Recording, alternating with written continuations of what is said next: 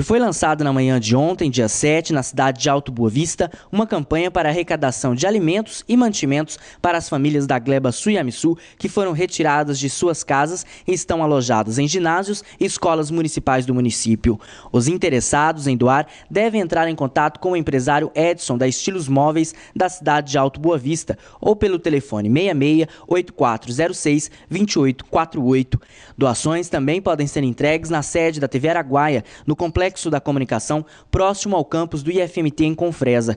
De acordo com a Prefeitura de Alto Boa Vista, mais de 50 famílias já estão alojadas nesses abrigos improvisados. Segundo o prefeito da cidade, Leuzipe Domingos, do PMDB, a situação é caótica e muito preocupante.